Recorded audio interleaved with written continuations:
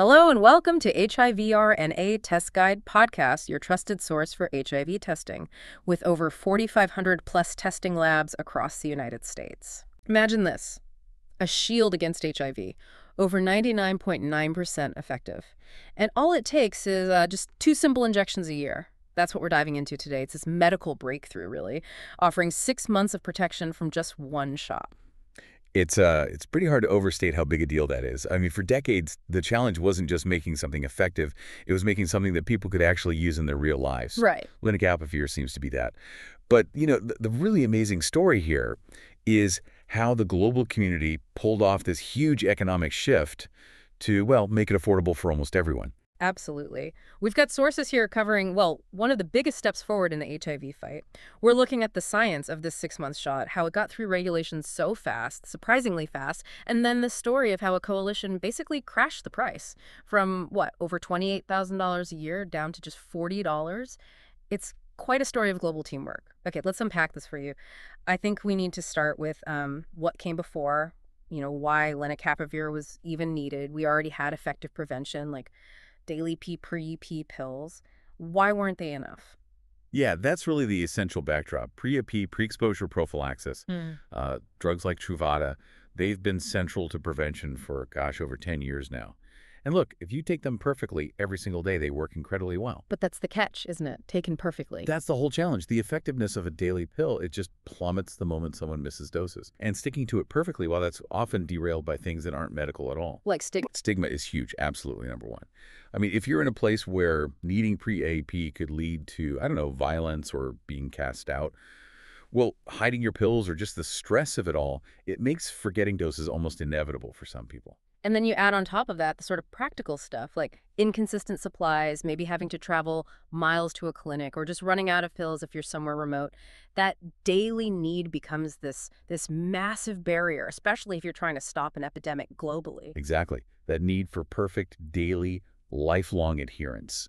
It created this really critical gap, almost impossible to bridge completely in many prevention efforts. Hmm. So lenacapavir, or Yeztugo, the brand name, it was specifically designed to get rid of that gap, to just remove the daily burden altogether. Okay, so let's get into the solution itself. Lenacapavir. What makes it work so differently from the daily pills that it can actually last for 6 months? Well, what's fascinating here is the mechanism. It's a whole new class of drug, actually. Older treatments, they mostly mess with the enzymes HIV uses to copy itself, right? This one is different. It's a capsid inhibitor. Okay, capsid inhibitor. What does that actually mean for someone listening? So um, think of the HIV virus like this little package trying to get its instructions inside a healthy cell. Hmm, That package has a protective shell made of protein. That's the capsid. got it. A capsid inhibitor basically, well, it locks down that shell. It stops the virus from putting its core structure together correctly. So it's blocking it really, really early in its life cycle, like stopping it before it even gets properly started inside the cell. Ah, so it hits the process much earlier and maybe more fundamentally than the older drugs. That sounds like it would be key to making it last longer. It is. And that mechanism is what allows for this incredible dosing schedule. Hmm.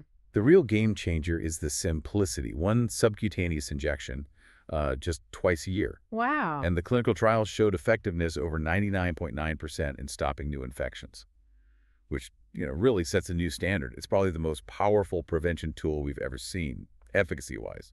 From a public health view, that combination, near perfect effectiveness and just twice a year dosing it, just changes everything for logistics, doesn't it? You're managing someone's care twice a year instead of trying to track 365 days of pills. The reduction in burden, both for the system and for the person, it's just huge. It really is. A breakthrough like this, it needs quick action. And looking at our sources, it seems like the regulators really stepped up. How fast has this been adopted globally? The speed has been pretty remarkable, actually, which tells you how clear the need was. So in the U.S., the FDA already approved it for prevention in adults and adolescents uh, weighing at least 35 kilos. And that makes it the first and still the only two-shot-a-year prevention option there. And what about internationally? Usually that U.S. approval helps speed things up elsewhere. It definitely did. Hmm. The WHO, the World Health Organization, they, they issued a really strong recommendation for injectable lenacapavir as another prevention choice. And WHO guidelines, they're hugely influential. You Mm. know, they often shape how countries, especially in Africa and Asia, update their own health policies. Mm. And then in Europe, the EMA, the European Medicines Agency, they also moved fast, gave it a positive opinion under an accelerated review. So yeah, the signals are pretty much green across the board. But okay, speed and effectiveness are one thing, but they don't mean much if the price puts it totally out of reach for the people who need it most. And this this is where the story takes a really dramatic turn. Here's where it gets really interesting. When Gilead first launched lenacapavir in the US, the price was well, staggering. Can you tell us But- about that initial cost and how it basically locked the drug out of low and middle income countries?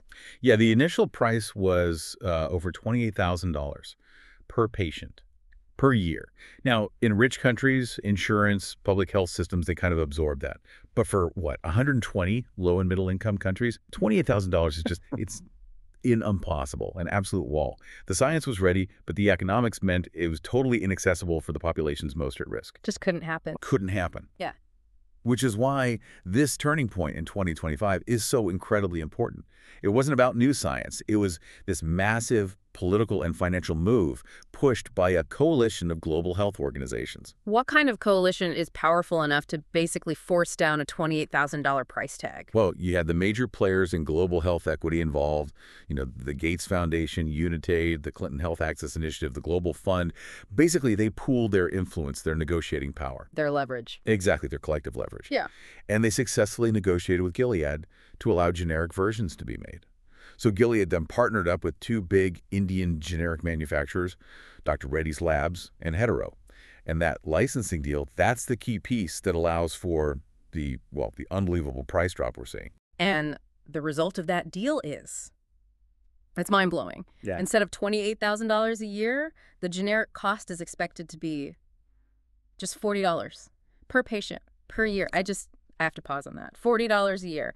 Thinking about where things were even five years ago, what does that number really tell us about the power that a unified global health front can actually wield? It tells us that when the effectiveness is crystal clear Hmm. and the human need is just undeniable, these big organizations can use their influence, their purchasing power, to essentially force open market access. It changes the whole conversation, you know, from being all about patents and profits to being about public health necessity. Yeah. And it's a this watershed moment. It's projected to make lenacapavir available in those 120 low and middle income countries probably by 2027. So if we connect this to the bigger picture, $40 a year for almost perfect prevention, that just fundamentally redraws the map of the epidemic, doesn't it? Especially in places like Africa and Asia where that prevention gap has been the widest. It's exactly right. This is strategically aimed at the groups who need it most, but have the hardest time with daily pills. We're talking about adolescent girls, young women, men who have sex with men, sex workers, groups facing the highest infection rates. This price drop means a scientific miracle might actually be deployed on the scale needed to make a real public health difference. This access is phenomenal. But okay, solving the money problem, that just gets us to the next phase, right? Which might be even harder, actually rolling it out. Even with the costs sorted, success isn't guaranteed. What are the really critical hurdles, the practical challenges health workers are facing now? The absolute biggest one, the medical requirement we just cannot compromise on, is testing. And this raises an important question. What happens if someone who is already HIV positive, but they don't know it, they get this six-month injection? That's the nightmare scenario, isn't it? Resistance. It's the single biggest danger. If someone with an existing untreated infection gets lenacapavir, the virus could develop resistance to it incredibly quickly. which would ruin our best new tool. Precisely. It could neutralize this amazing prevention method before it even gets widely used. So the absolute rule, the precondition for starting lenacapavir PrEP, has to be a confirmed negative HIV test. Hmm. And crucially, not just the rapid finger prick tests that are common now.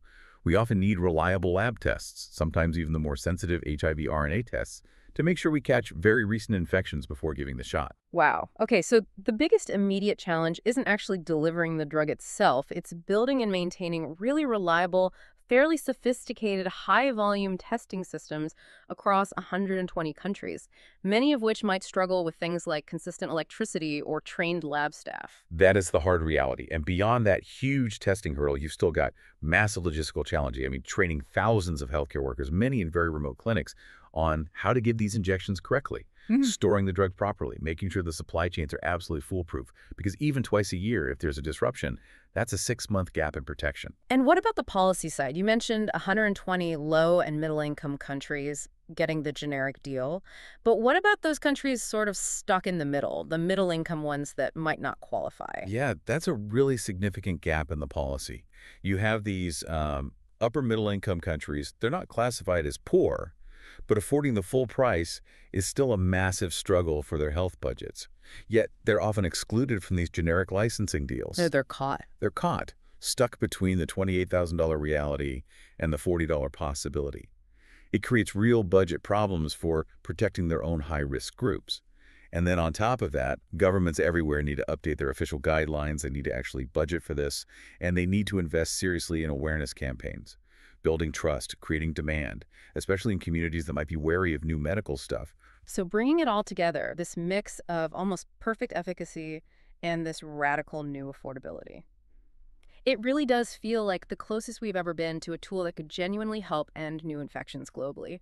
So what does this all mean for, say, the next five years? Well, it means we've cleared the science hurdle. And largely, we've cleared the financial hurdle, which is amazing. So the focus now shifts entirely. It's Yeah. not about medical invention anymore. It's about implementation. It's about logistics. Right. The political will, the sheer effort required to make sure that the essential pre-screening, that robust testing infrastructure, is actually built, maintained, and kept running in 120 different countries Hmm. before this drug gets rolled out widely. That's going to decide everything. So in other words, the money barrier might be broken, but the real victory, the true global health win, it doesn't hinge on the drug itself anymore. It hinges on whether we can actually build the capacity to safely test millions and millions of people, especially in communities that have always been the hardest to reach. That's the next huge mountain to climb.